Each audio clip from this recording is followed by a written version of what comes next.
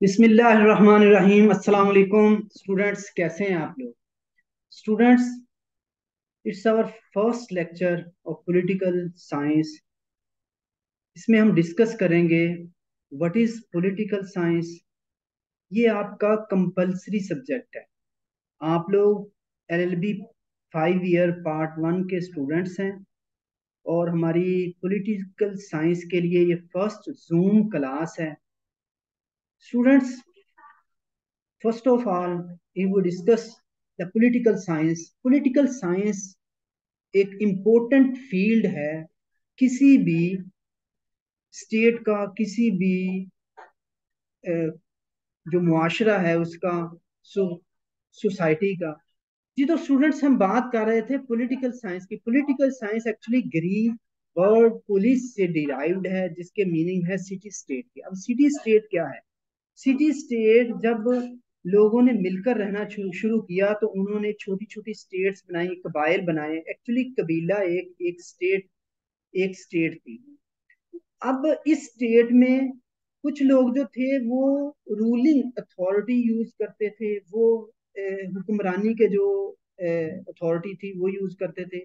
इनमें कुछ लोग ऐसे थे, जो के सोसाइटी में इसकी प्रोटेक्शन का काम करते थे और कुछ लोग ऐसे थे जो बिज़नेस या ज़रात के मुतल थे और वो मतलब सोसाइटी के डिफरेंट जो ए, लोग थे उनकी मुख्तलिफ़ ज़रूरियात को पूरा करते थे।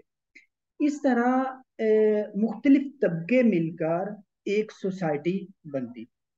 अब अगर हम देखें तो इस सोसाइटी के जो पॉलिटिकल एस्पेक्ट्स थे इसमें सबसे पहले तो रूलिंग था मतलब के हुक्मरानी थी या आप यूँ कह सकते हैं कि गवर्नेंस थी या गवर्नमेंट थी, ठीक है? इसका फ़र्स्ट जो स्टेप है या फ़र्स्ट एस्पेक्ट है।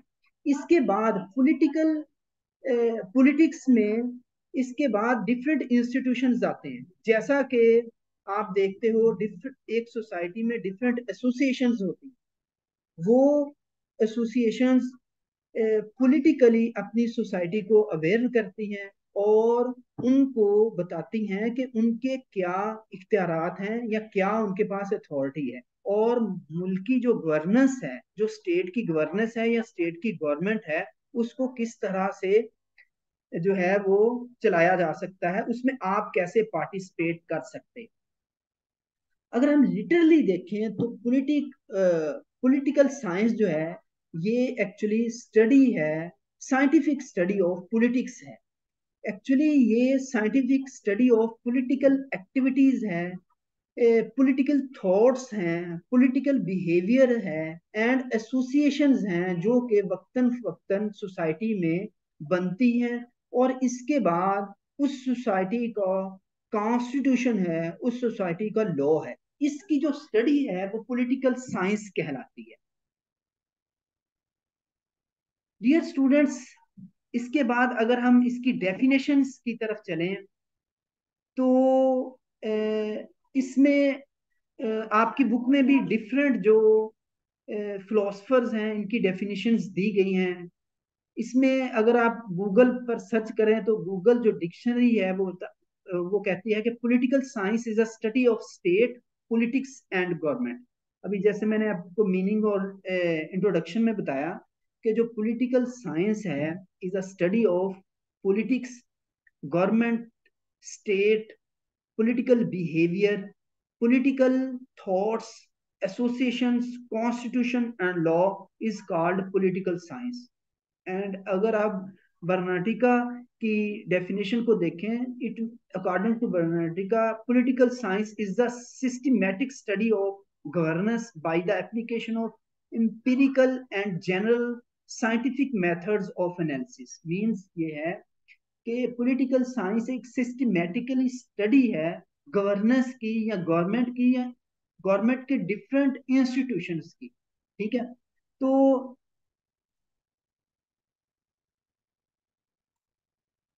तो डियर स्टूडेंट्स इसके बाद हॉरोल्ड डी लेसविल्स कहते हैं कि political science is a scientific study of power and authority means ये है कि किसी भी गवर्नमेंट में या किसी भी स्टेट में जो पॉलिटिकल जो पॉलिटिकल पावर है, जो पॉलिटिकल गवर्नेंस है, उसकी स्टडी को पॉलिटिकल साइंस कहा जाता है। डियर स्टूडेंट्स इसके बाद डेविड एस्टोन है। According to David Easton political science is a study of allocation and distribution of power it means according to David Easton political political science mean the study of allocation and distribution of power in a society.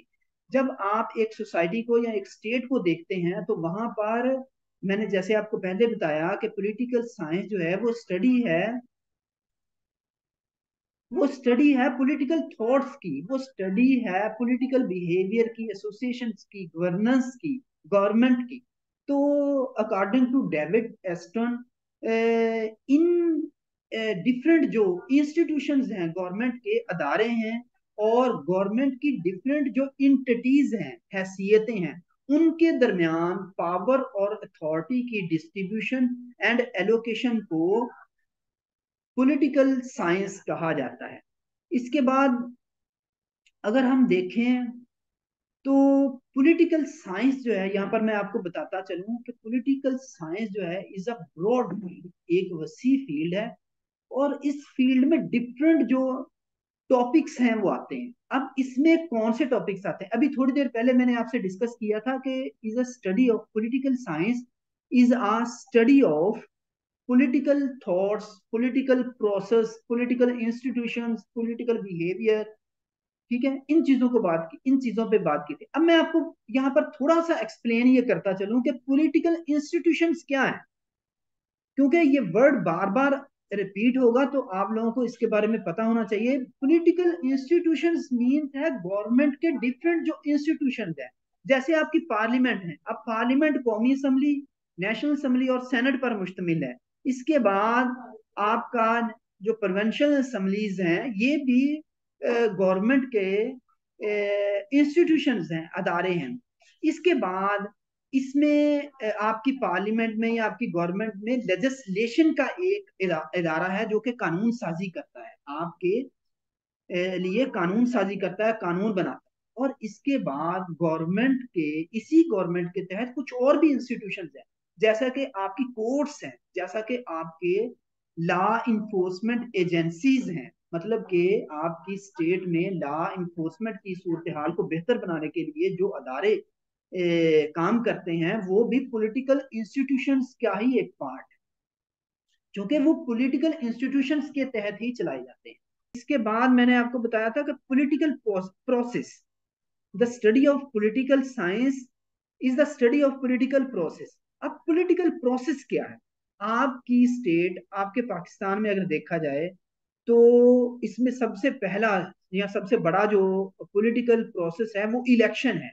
आपके general election होते हैं by elections होते हैं। इसके बाद आपके अदारों में elections होते हैं। आपके जो पॉलिटिकल अदारे हैं या गवर्नमेंट के मुख्तलिफ़ अदारे हैं, वहाँ पर जो इलेक्शंस होते हैं मतलब कि इलेक्शन का process is a political process of the state ये स्टेट का एक पॉलिटिकल प्रोसेस है। ठीक है? इसके बाद पॉलिटिकल जो लॉबिंग की जाती है, अब लॉबिंग क्या है? लॉबिंग आप लोग समझते होंगे, जैसे कि हमारे पाकिस्तान में सेनेट का इलेक्शन होता है तो पाकिस्तान की मुख्तलिफ़ जो पोलिटिकल पार्टीज़ हैं, वो सेनेट में अपने मेंबर्स को जितवाने के लिए कौमी असम्बली और नेशनल और प्रोवेंशियल असम्बलीज में लॉबिंग करती हैं। मतलब कि वहाँ के मेंबर्स को, पाकिस्तान में तो हाउस ट्रेडिंग होती है मतलब कि खरीदा जाता है।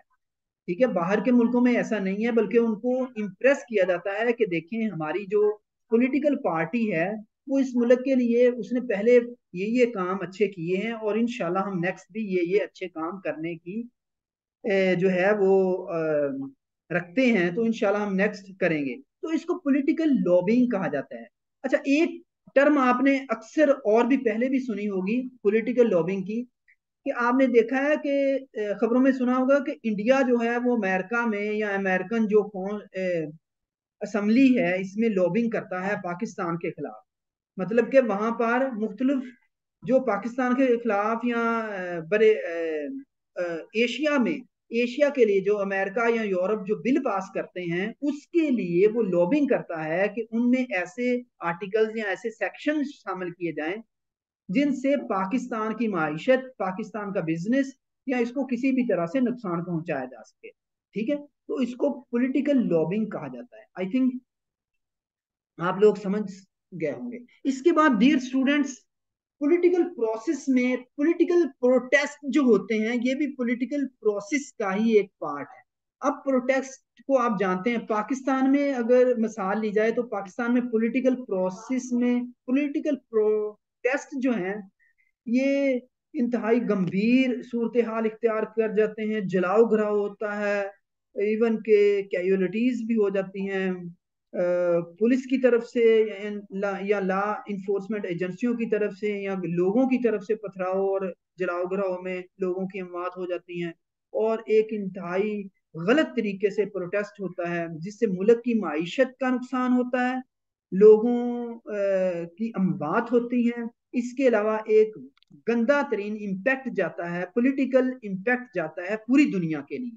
और पाकिस्तान की जो पॉलिटिकल पार्टीज़ हैं, ये ये चूँकि इतनी समझदार नहीं है या इतनी डेवलप नहीं है, हमारे यहाँ के जो लीडर्स हैं लीडर बने हुए हैं, वो इस काबिल नहीं है कि वो मुल्की जो अमारतें हैं, मुल्की जो चीज़ें हैं उसका बचाव करें, एक अच्छे और महजब अंदाज में प्रोटेस्ट करें। अच्छा डियर स्टूडेंट्स नेक्स्ट चलते हैं, इसके बाद पॉलिटिकल बिहेवियर पॉलिटिकल बिहेवियर क्या है? एक्चुअली ये वो टर्म्स हैं जो थोड़ी देर पहले मैंने आपसे डिस्कस की मैंने आपको लास्ट लेक्चर में बताया था, आप इन्हीं पॉइंट्स को एक्सप्लेन करके अपना बेहतरीन एक जो क्वेश्चन है, वो बना सकते हैं।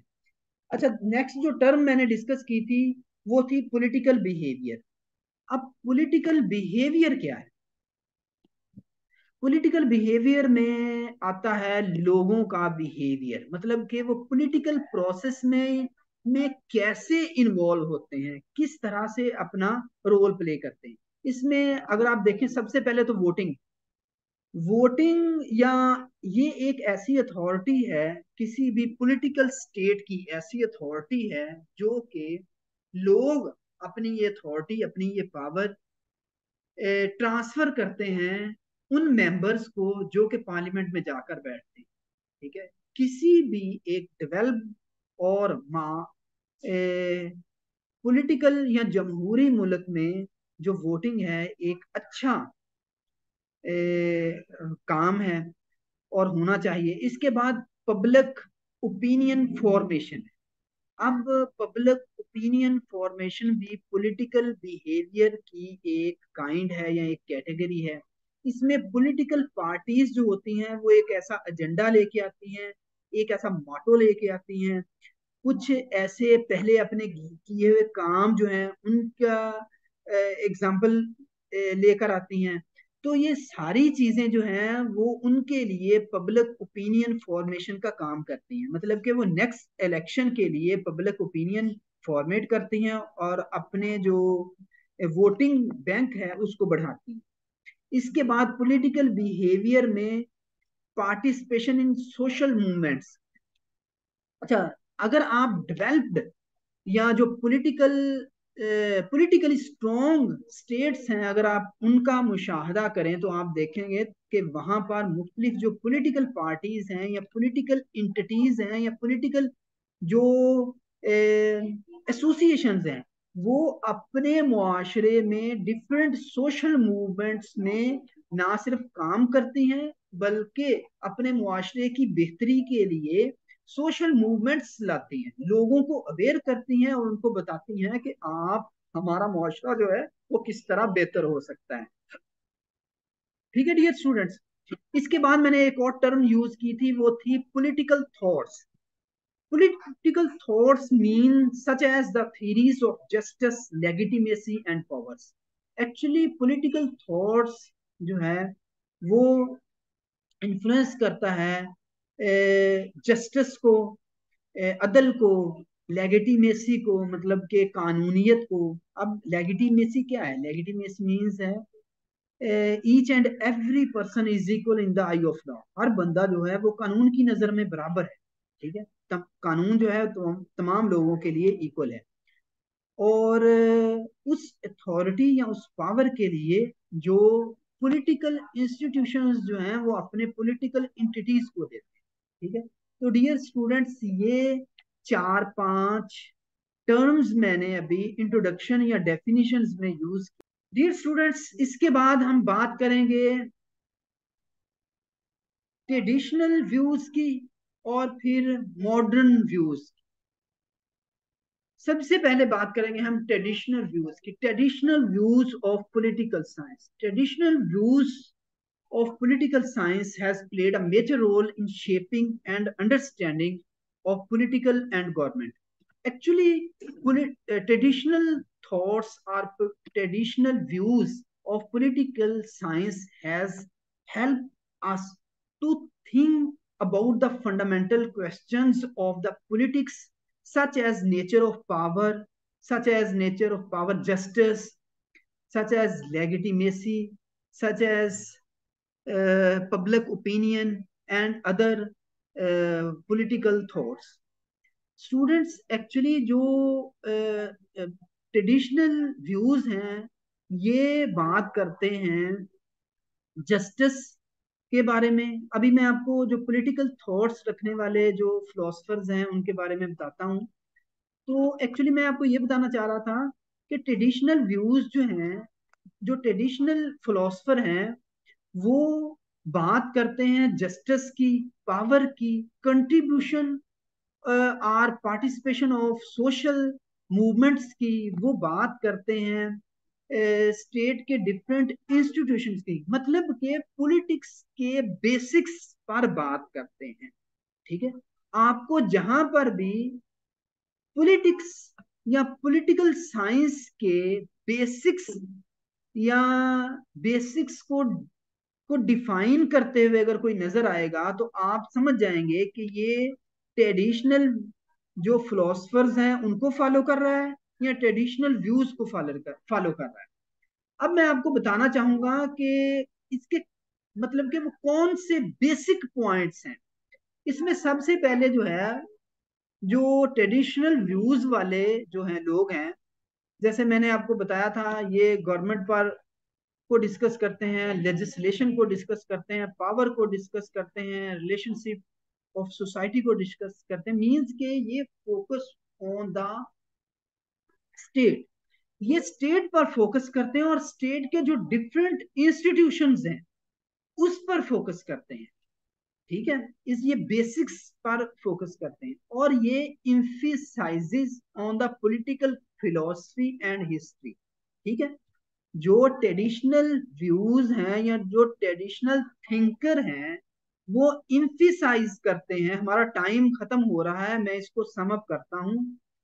वो इंफिसाइज करते हैं पॉलिटिकल फिलोसफी और political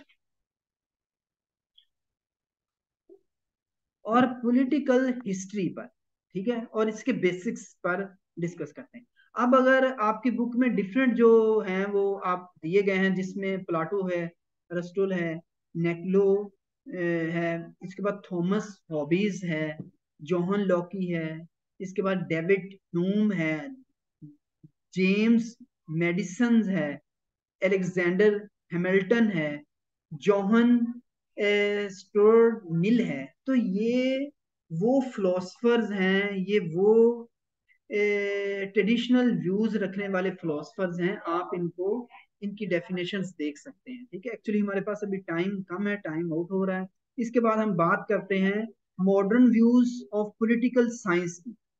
Modern views of political science आप, जैसे मैंने आपको पहले बताया कि जो ट्रेडिशनल व्यूज़ हैं या ट्रेडिशनल व्यूज़ रखने वाले जो फिलोसफर हैं, वो बात करते हैं बेसिक्स ऑफ़ पॉलिटिकल साइंस की या पॉलिटिकल इंस्टीट्यूशन जो मॉडर्न व्यूज़ रखने वाले हैं, वो पॉलिटिकल साइंस की जो करेक्टरिस्टिक्स हैं, उस पर बात करते हैं। वो इंपेरिकल रिसर्च पर बात करते हैं। वो पावर एंड अथॉरिटी पर बात करते हैं। वो डाइवर्सिटी ऑफ़ प्रिस्पेक्टिव्स पर बात करते हैं। ठीक है? वो एक्चुअली रिसर्च पर बात करते हैं। वो पॉलिटिकल उन्होंने बात की पॉलिटिकल सोशल पॉलिसी की। आप लोग यहाँ पर ध्यान से मेरी बात सुनिएगा। ट्रेडिशनल व्यूज़ के लोगों ने बात की सोशल मूवमेंट्स की सोशल पॉलिसी की। जो मॉडर्न व्यूज़ के लोग हैं, वो बात करते हैं how to improve public policy how to improve social policy how to improve political institutions how to enhance or to polish our political institutions political authority uh, इसमें इंक्लूडेड डेमोक्रेसी इसमें included है लेजिस्लेशन uh, इसमें included है uh, तमाम तर movements political जो institutions हैं, वो सारा कुछ इसमें शामिल है। मीन्स ये है कि ट्रेडिशनल व्यूज़ वाले बेसिक्स पर बात करते हैं और मॉडर्न व्यूज़ के जो फिलोसफर हैं, वो बात करते हैं how to improve public policy how to how to characterize or the characteristics of the political science of the political institutions, of the democracy, of the authority, of the power, of the legislation. ठीक है? समझ आ गई है ना? इसके बाद हम बात करते हैं नेक्स्ट चलते हैं नेक्स्ट है। इसके कुछ हाँ यहाँ पर मैं आपको बता दूँ मॉडर्न व्यूज़ के कुछ जो फिलोसफर्स हैं आपके बुक में भी दिए गए होंगे। इसमें सबसे पहले मैक्स वेबर है मुख्तलिफ़ हैं डेविड एस्टोन है। इसके बाद जेम्स क्यू वेल्सन है ये आप लोग ना इनमें से दो चार जो होंगे वो आप कर सकते हैं। इसके बाद अगर हम बात करें तो सब फील्ड्स की, ठीक है, सब fields of the political science. इसमें सबसे पहले जो सब फ़ील्ड है वो पॉलिटिकल थ्योरी है, पॉलिटिकल थ्योरी जिसको आप कह सकते हैं, जो सियासी थ्योरी है। Actually, political theory studies the fundamental nature of politics, power, and justice. It asks questions about the purpose of governments, the rights of individuals, and the legitimacy of authority. ठीक है जो पॉलिटिकल थ्योरी है ये बात करती है या ये study of political nature of politics है it is the study of power है it is the study of justice है तो ये पॉलिटिकल थ्योरी है, ये पॉलिटिकल साइंस का एक सब फ़ील्ड है ओके इसके बाद नेक्स्ट जो इसका सब फ़ील्ड है, वो कंपैरेटिव पॉलिटिक्स है। अब कंपैरेटिव पॉलिटिक्स पॉलिटिक्स क्या है? Comparative politics means to compare the political systems or the political processes across the world or different countries मुख्तलिफ़ मुल्कों या दुनिया के मुख्तलिफ़ जो स्टेट्स हैं, उनके पॉलिटिकल सिस्टम को कंपेयर करना या उनके पॉलिटिकल प्रोसेस को कंपेयर करना और उसके जो पॉलिटिकल इंस्टीट्यूशन हैं पॉलिटिकल बिहेवियर है पब्लिक पॉलिसी है, उसको कंपैरेटिवली देखना, उसको कंपैरेटिवली स्टडी करना कंपैरेटिव पॉलिटिक्स कहलाता है। ठीक है? मेरा ख्याल है समझ आ गई होगी। इसके बाद इंटरनेशनल रिलेशन है। अब इंटरनेशनल रिलेशंस में अगर देखा जाए तो political science basic role play करती है। एक्चुअली मुख्तलिफ़ ममालक दूसरे ममालक में अपने लिए पॉलिटिकल लॉबिंग करते हैं, जैसे कि अभी हम पहले डिस्कस करके आए हैं। तो इसमें इन चीज़ों के लिए लॉबिंग हो सकती है, वो वार के लिए, मुख्तलिफ़ इशूज के रिलेटेड वार के रिलेटेड पीस के रिलेटेड डेमो डिप्लोमेसी के रिलेटेड डेमोक्रेसी के रिलेटेड इंटरनेशनल रिलेशंस के रिलेटेड इंटरनेशनल ट्रेड के रिलेशन इंटरनेशनल बिज़नेस के रिलेटेड इंटरनेशनल जो वार प्रिजनर्स हैं, उनके रिलेटेड या फिर जो मुख्तलिफ़ जो फंडामेंटल राइट्स जिन इलाकों में इन्फ्रिंग्ड होते हैं, जहाँ पर फंडामेंटल राइट्स जो है, उनको वायलेट किया जाता है, उनके रिलेटेड जो मुख्तलिफ़ रिलेशन बनते हैं लॉबिंग की जाती है, ये सारा कुछ जो है, इसकी स्टडी जो है वो इंटरनेशनल रिलेशन कहलाती है। इसके बाद डियर स्टूडेंट्स पब्लिक एडमिनिस्ट्रेशन है।